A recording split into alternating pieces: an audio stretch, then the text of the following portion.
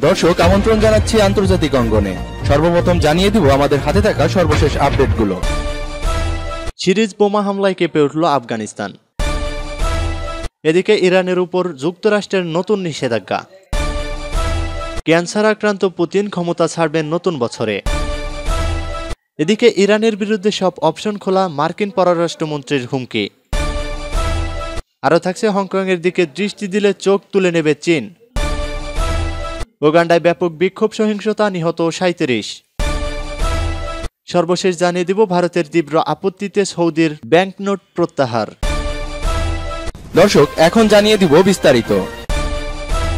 Series বোমা হামলায় কেঁপে উঠল আফগানিস্তান। সিরিজ বোমা হামলায় কেঁপে উঠল আফগানিস্তানের রাজধানী কাবুল। গতকাল সকালে শহর জুড়ে কমপক্ষে দশটি ম্যাগনেটিক বোমার বিস্ফোরণের খবর পাওয়া গেছে। হামলায় এখন পর্যন্ত এক পুলিশ কর্মকর্তা এবং তিন বেসামরিক নাগরিক নিহত হয়েছে বলে জানা গেছে। এদিকে ভারতীয় গণমাধ্যম হিন্দুস্তান টাইমস বলেছে, কাবুলের বেশ কয়েকটি জায়গায় রকেট হামলা চালানো হয়েছে। বিশেষ করে কূটনৈতিক এলাকায় গ্রিন জোনের কাছে রকেট বিস্ফোরণ ঘটে। গ্রিন জোনে মার্কিন দূতাবাস সহ বিভিন্ন আন্তর্জাতিক সংস্থার গুরুত্বপূর্ণ কার্যালয় রয়েছে। কাবুল পুলিশের মুখপাত্র ফেরদৌস ফারামার্স নিশ্চিত করেছেন যে একাধিক রকেট বিস্ফোরণ হয়েছে। এতে বেশ কিছু ভবন এবং গুরুত্বপূর্ণ সড়ক ক্ষতিগ্রস্ত হয়। স্বরাষ্ট্র মন্ত্রণালয় থেকে জানা যায়, হামলায় একটি পুলিশের গাড়ি ক্ষতিগ্রস্ত হয়েছে। ঘটনাস্থলেই এক পুলিশ কর্মকর্তা প্রাণ হারান। সিরিজ বোমা হামলার দায়ভার এখনও কোনো গোষ্ঠী স্বীকার করেনি। গেল ছয় মাসে আফগানিস্তানের সশস্ত্র তালেবান গোষ্ঠী তিপ্পান্নটি আত্মঘাতী হামলা এবং বারোশো পঞ্চাশটি বিস্ফোরণ ঘটিয়েছে। এতে নিহত হয়েছেন বারোশো দশ বেসামরিক নাগরিক। আহত হয়েছেন আড়াই হাজারের বেশি মানুষ।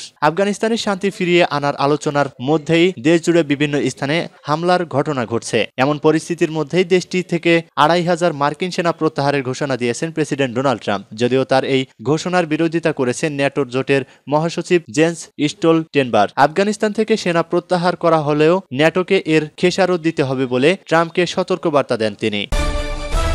ইরানের উপর যুক্তরাষ্ট্রের নতুন নিষেধাজ্ঞা। ইরানের উপর নতুন নিষেধাজ্ঞা আরোপ করেছে ট্রাম্প প্রশাসন। নতুন এ নিষেধাজ্ঞার আওতায় ইরানের ধর্মীয় নেতা আয়াতুল্লাহিল আলী খামিনের একটি ফাউন্ডেশনকে টার্গেট করা হয়েছে। ভয়েস অব আমেরিকা জানিয়েছে, গতকাল থেকে এ নিষেধাজ্ঞা আরোপ করা হয়েছে। নতুন এ নিষেধাজ্ঞার আওতায় দশ ব্যক্তি ও পঞ্চাশটি সহায়ক ফাউন্ডেশন রয়েছে। এর মধ্যে জ্বালানি, খনিজ এবং আর্থিক বেসরকারি প্রতিষ্ঠানও রয়েছে। ইরানের গোয়েন্দা বিষয়ক মন্ত্রীও এবারের নিষেধাজ্ঞার আওতায় পড়েছেন। ট্রাম্প প্রশাসনের ইরানের উপর সর্বোচ্চ চাপ প্রয়োগের কৌশল হিসেবে এ পদক্ষেপ নিয়েছে বলে জানিয়েছে ওয়াশিংটন। নতুন নিষেধাজ্ঞার শিকার খামেনি নিয়ন্ত্রিত ফাউন্ডেশনটির নাম বনিয়াদ মোস্তজাফান। যুক্তরাষ্ট্র বলছে, এ প্রতিষ্ঠানটি মূলত খামেনির নেটওয়ার্ককে পৃষ্ঠপোষকতা দেয়। ক্যান্সার আক্রান্ত পুতিন ক্ষমতা ছাড়বেন নতুন বছরে। রাশিয়ার প্রেসিডেন্ট ভ্লাদিমির পুতিন ক্যান্সারে আক্রান্ত। একই সঙ্গে তার দেখা দিয়েছে পার্কিনসন রোগের লক্ষণ। ফেব্রুয়ারিতে তার একবার জরুরি অপারেশনও করা হয়েছে। রাশিয়ার রাজনৈতিক বিশ্লেষক ভ্যালেরি সলোভেইকে উদ্ধৃত করে এ খবর দিয়েছে ব্রিটেনের the Sun O the Mail Online. Valery Solovei আরও জানিয়েছেন, আগামী বছরের শুরুতে ক্রেমলিন ছাড়ার পরিকল্পনা করছেন পুতিন। এ মাসের শুরুতে তিনি পুতিনের পার্কিনসন রোগ আছে বলে খবর ছড়িয়েছেন। তারও আগে তিনি বলেছেন, তাকে জানানো হয়েছে প্রেসিডেন্ট পুতিনকে ক্যান্সারের চিকিৎসা দেওয়া হয়েছে। এক্ষেত্রে ক্রেমলিনের কেন্দ্রীয় পর্যায়ের সিদ্ধান্ত হয়, যেখান থেকে সেখানকার সূত্র ব্যবহার করেছেন। ভ্যালেরি সোলেভেই বলেছেন, প্রেসিডেন্ট পুতিনের দুরকম স্বাস্থ্য বিষয়ক সমস্যা দেখা দিয়েছে। একটি হলো সাইকো নিউরোলজিক্যাল প্রকৃতির অর্থাৎ পার্কিনসন। অন্যটি হলো ক্যান্সার। ফেব্রুয়ারিতে পুতিনের অপারেশন করানো হয়েছে। কি সমস্যায় অপারেশন করানো হয়েছে তা তিনি বলেননি। তবে অন্য একটি রাশিয়ান সূত্র দাবি করেছে, পুতিনের পাকস্থলী বা পেটে ক্যান্সারের অপারেশন করা হয়েছে তখন। এ সময় প্রেসিডেন্টের শিডিউলে কিছু ফাঁক রাখা হয়। উল্লেখ্য, ভ্যালেরি সলোভেই হলেন রাশিয়ান রাষ্ট্রবিজ্ঞানী। ইতিহাসবিদ এবং public relations department Moscow State Institute of International রিলেশনসের সাবেক প্রধান। গত বছর তিনি পদ ছেড়েছেন। তিনি বলেছিলেন, রাজনৈতিক কারণে তিনি এ সিদ্ধান্ত নিয়েছেন। এই সূত্র জানিয়েছে ওডি। ইরানের বিরুদ্ধে সব অপশন খোলা মার্কিন পররাষ্ট্রমন্ত্রীর হুমকি। ইসলামী প্রজাতন্ত্র ইরানের বিরুদ্ধে ব্যবস্থা নেওয়ার জন্য আমেরিকার টেবিলে সব অপশন রয়েছে বলে আবারও হুমকি দিয়েছে মার্কিন পররাষ্ট্রমন্ত্রী মাইক পম্পেও। ইহুদিবাদী ইসরায়েলের দৈনিক পত্রিকা জেরুসালেম পোস্টকে দেওয়া সাক্ষাৎকারে তিনি এ হুমকি দিয়েছেন। তিনি বলেন, গত চার বছর ধরে ইরানের বিরুদ্ধে আমেরিকা এ নীতি অনুসরণ করে এসেছে এবং এই নীতির পরিবর্তন হওয়ার কোনো কারণ নেই। মাইক পম্পেও বলেন, আমার মূল্যায়ন এবং ইতিহাস তাই বলবে যে আমরা এ ব্যাপারে খুবই সফল বিফল হয়েছিলাম। ইরান বিরোধী ট্রাম্প প্রশাসনের নীতির কথা উল্লেখ করে পম্পেও বলেন, আমি স্মরণ করতে পারি ইরানের বিরুদ্ধে সর্বোচ্চ চাপ প্রয়োগের নীতি অনুসরণের শুরুর দিকে আমরা পরমাণু সমঝোতা থেকে বের হয়ে গিয়েছিলাম এবং তখন বিশ্ব বলেছিল, ইরানের বিরুদ্ধে শুধু আমেরিকার চাপ কার্যকর হবে না। কিন্তু এই চাপের কারণে ইরান বিশ্বব্যাপী ক্ষতিকর তৎপরতা কমাতে বাধ্য হয়েছে। এর মধ্যে একটি হলো ইরান আন্তর্জাতিক অঙ্গন থেকে কোনো অর্থের চালান গ্রহণ করতে পারবে না। এটি আগের যে কোনো সময়ের চেয়ে সম্পূর্ণভাবে ভিন্ন ছিল এবং এর মাধ্যমে মধ্যপ্রাচ্যের বিভিন্ন দেশের কাছে বার্তা গেছে। মার্কিন পররাষ্ট্রমন্ত্রী ইরানের বিরুদ্ধে এমন সময় এই হুমকি দিলেন যখন প্রেসিডেন্ট ডোনাল্ড ট্রাম্পের প্রশাসন বিদায় নিতে যাচ্ছে এবং পম্পেও নিজেও বিদায় নিচ্ছেন। এই সূত্র জানিয়েছে পার্স টুডে। হংকংয়ের দিকে দৃষ্টি তুলে তাকালে চোখ তুলে নেবে চীন। হংকং নিয়ে কেউ সমালোচনা করলে চীন তাদের মুখ বন্ধ করে দিচ্ছে বলে অভিযোগ করেছে যুক্তরাষ্ট্র ও তার মিত্ররা। সম্প্রতি এ নিয়ে যুক্তরাষ্ট্র, যুক্তরাজ্য, অস্ট্রেলিয়া, নিউজিল্যান্ড ও কানাডার একটি জোট চীনের বিরুদ্ধে অভিযোগ তোলায় চীন তার কঠোর ভৎসনা করেছে।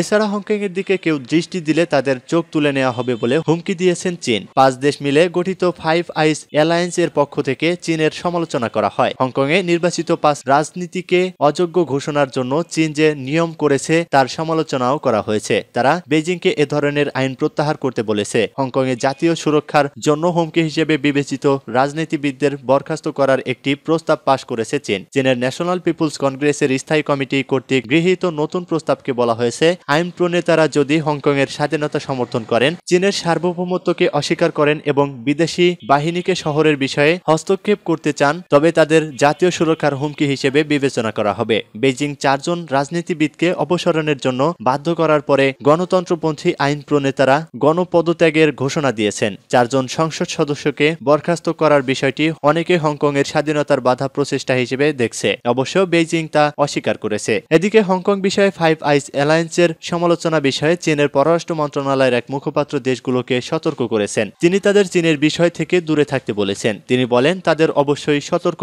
হতে হবে। তা না হলে তাদের চোখ উপড়ে ফেলা হবে। গতকাল বেইজিং এ পররাষ্ট্র মন্ত্রণালয়ের মুখপাত্র ঝাও লিজিয়ান সাংবাদিকদের বলেন, চীনারা কখনো সমস্যা তৈরি করে না বা কোনো কিছুর, তাদের পাঁচটা না দশটা চোখ তা কোনো বিষয় নয়। ফাইভ আইস গ্রুপের প্রধানমন্ত্রীর চীনের প্রতি এই চারজন আইন প্রণেতাকে তাদের পদে রাখার আহ্বান জানিয়েছে। তাদের অভিযোগ, বেইজিং তাদের প্রতিশ্রুতি ভঙ্গ করেছে।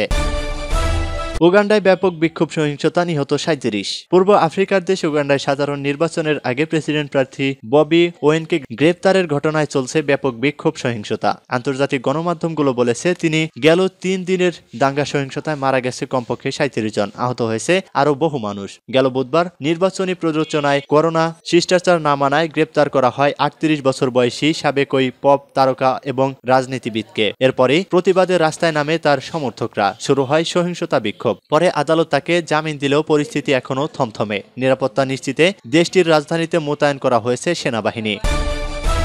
ভারতের তীব্র আপত্তিতে সৌদির ব্যাংকনোট প্রত্যাহার। ভারতের তীব্র আপত্তিতে বিশ রিয়ালের নতুন ব্যাংকনোট অবশেষে প্রত্যাহার করে দিল সৌদি আরব। জি টোয়েন্টি সম্মেলন উপলক্ষে ছাপা ওই নোটে জম্মু কাশ্মীর এবং লাদাখকে ভারতের মানচিত্রের বাইরে রাখা হয়েছিল। খবর আনন্দবাজার পত্রিকার। বিষয়টি নিয়ে ভারতের আপত্তির পরে সেই নোট অবশেষে প্রত্যাহার করে দিল সৌদি আরব। নতুন ওই নোট ছাপা বন্ধের নির্দেশ দেওয়ার পাশাপাশি আগে যে নোট ছাপা হয়েছিল তা ফিরিয়ে নেওয়ার কথা জানিয়েছে সৌদি প্রশাসন। গতকাল থেকে সৌদিতে শুরু হয়েছে জি টোয়েন্টি সম্মেলন। এ উপলক্ষেই গত মাসের শেষ দিকে নতুন এই বিশ রিয়ালের নোটটি বাজারে ছাড়ে সৌদি প্রশাসন। নোটের একদিকে সৌদি আরবের রাজা সালমান বিন আব্দুল আজিজ আল সাউদের ছবি এবং জি টোয়েন্টি সম্মেলনের প্রতীক রয়েছে। অন্যদিকে বিশ্ব মানচিত্র। সেখানেই ভারতের মানচিত্রটিতে জম্মু কাশ্মীর ও লাদাখকে বাদ দেওয়া হয়। এ নিয়ে তখনই আপত্তি জানায় ভারত। রিয়াদে ভারতীয় রাষ্ট্রদূত বিষয়টি নিয়ে সৌদি আরব প্রশাসনের কাছে ভারতের আপত্তির কথা জানানোর পরে বিষয়টি নিয়ে নড়ে চড়ে বসে সৌদি প্রশাসন। অবশেষে সম্মেলন শুরুর ঠিক আগে এই নোট প্রত্যাহারের সিদ্ধান্ত নেয় সৌদি আরব। সৌদির পররাষ্ট্র মন্ত্রণালয় জানিয়েছে, ওই নোটটি স্মারক হিসেবে ছাপা হয়েছিল তা বাজারে ছাড়া হয়নি। ভারতের আপত্তির কথা মাথায় রেখে নতুন নোট ছাপা বন্ধ করার পাশাপাশি সব নোট প্রত্যাহার করে নেওয়া হচ্ছে। আজকের মতো এখানেই শেষ করছি। সবার আগে সর্বশেষ সংবাদ জানতে আমাদের চ্যানেলটি এখনই সাবস্ক্রাইব করে রাখুন। ধন্যবাদ এতক্ষণ সাথে থাকার জন্য।